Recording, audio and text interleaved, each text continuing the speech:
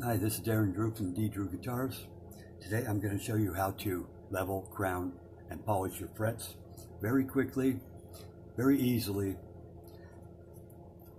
So, first I remove the strings or push them off to the side, tape off the body so it doesn't get scratched.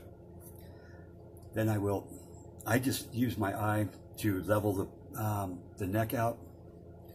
You know, they have the, the straight edges I just use my eye. You know, the truss rod is right here on here.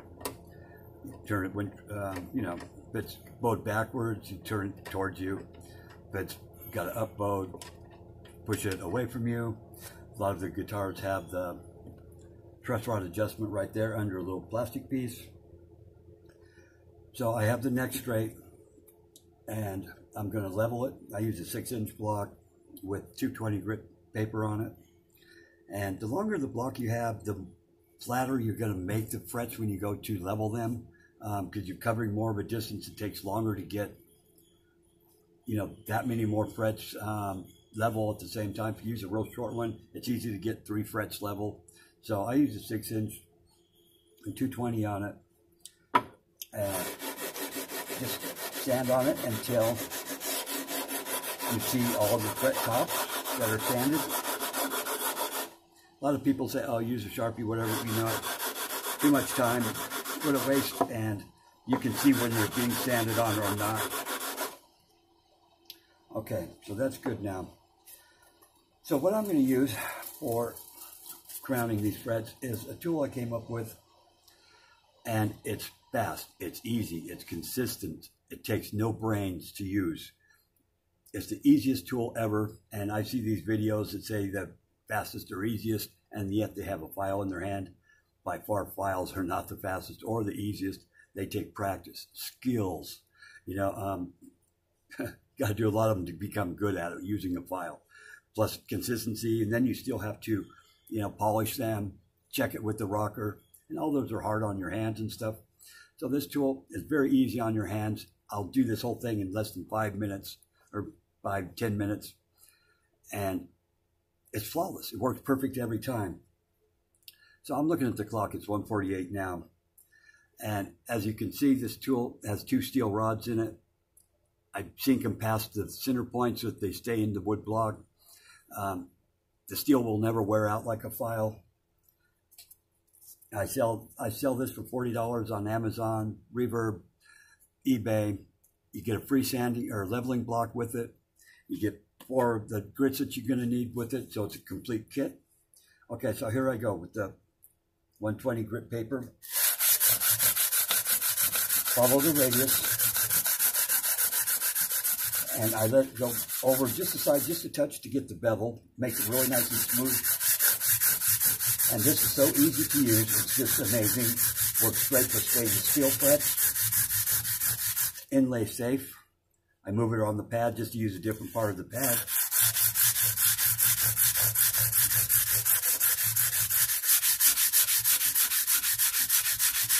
Down here, you would want to do it like twice as much because you're only touching this area once. Up all this whole distance, you're touching it twice.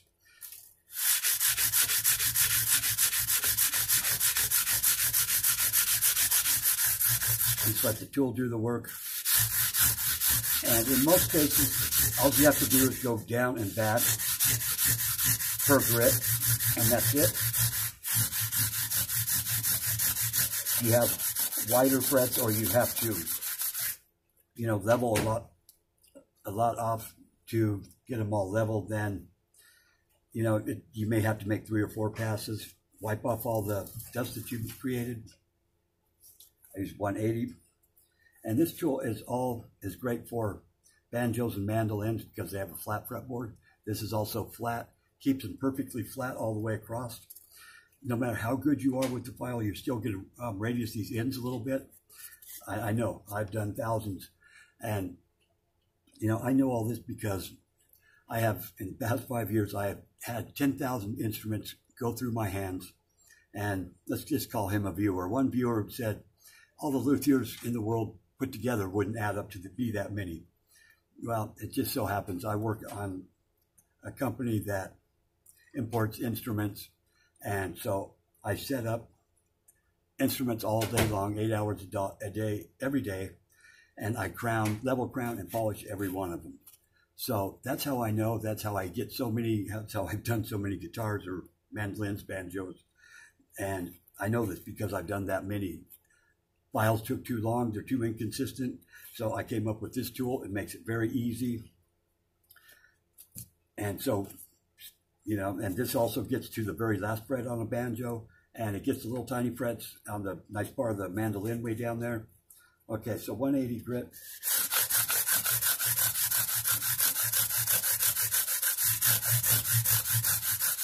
You know, some guys just don't want to believe that it can be this easy to level crown and polish your frets all at the same time. This makes stainless steel frets very easy, not a problem. Gold Evo frets are no problem. Just follow the radius. This also sands the fretboard, fretboard very nicely, makes it nice and smooth, clean. Wipe this off again. Now I'll use the 220 pad.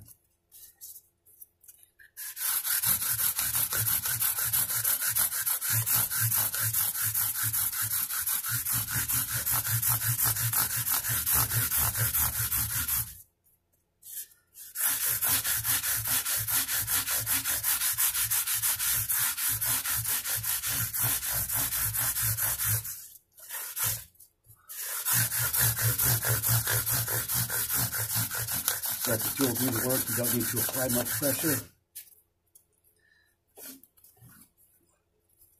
320 pad.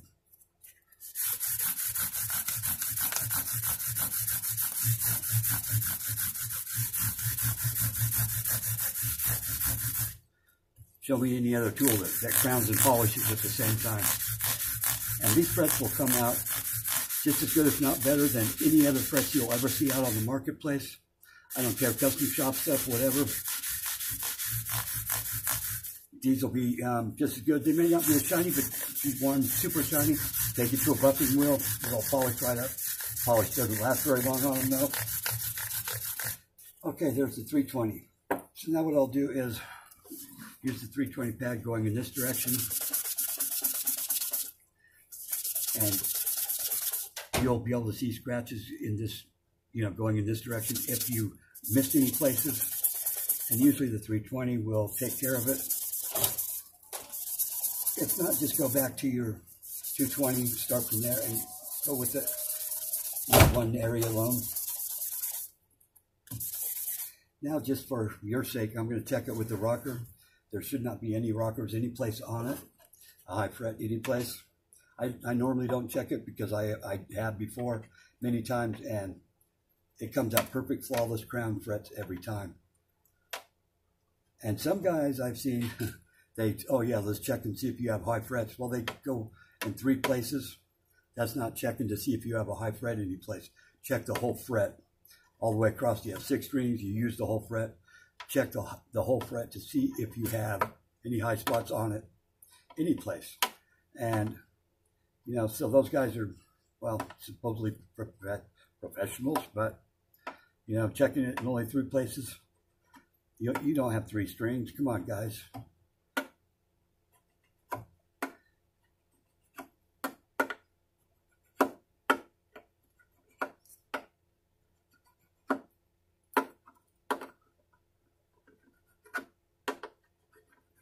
See, not a, not a high spot on there.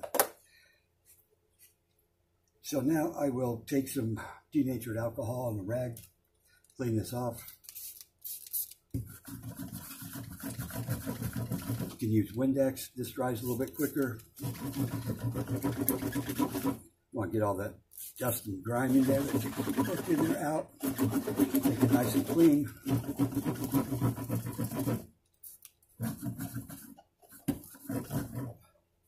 Take a rag, just buff it, buff it like this. It makes the wood nice and smooth and shiny, and also the frets. Now I will use mineral oil. It's You can buy a whole big bottle of it for a dollar at uh, any drugstore. You can use fretboard oil. It's a lot more expensive. You can use furniture oil. But mineral oil, you know, for the, Buy one a dollar bottle of it, and it'll last you a lifetime. Just work this in.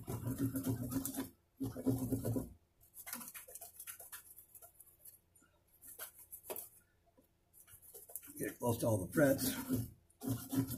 And there, you're done. It's that quick and that easy to have perfectly crowned and polished frets in the matter of 156, eight minutes. And I was talking a lot in between. Eight minutes to have perfectly crowned and polished frets, guaranteed every time. Yeah, they're very nice all the way, very all the way down, very consistent. So please like and share. Uh, and subscribe. I'll teach you some more stuff later. Have a good afternoon. Bye bye.